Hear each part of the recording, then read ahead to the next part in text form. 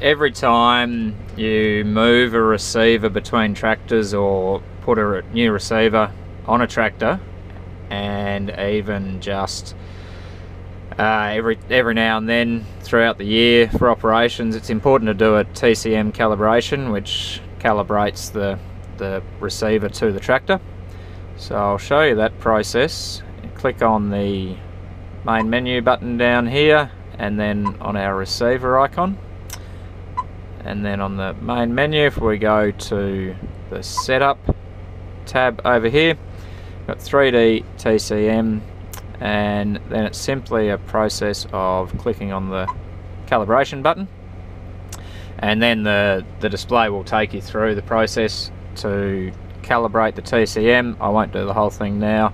but basically just follow the instructions park the machine on, on flat even ground, mark the non-steering axle